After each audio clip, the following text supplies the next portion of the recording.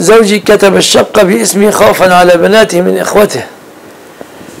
هذه الموضوعات إخوانه لهم خمسة على تسعة آه، خمسة على أربعة وعشرين لأنك أنت الزوجة لك الثمن والبنات لهم الثلثان يعني ستة على تسعة عشر مع عفوا البنات لهم الثلثان ستة عشر على أربعة وعشرين والزوجة لها الثمن يعني ثلاثة على أربعة وعشرين يبقى خمسة على أربعة وعشرين.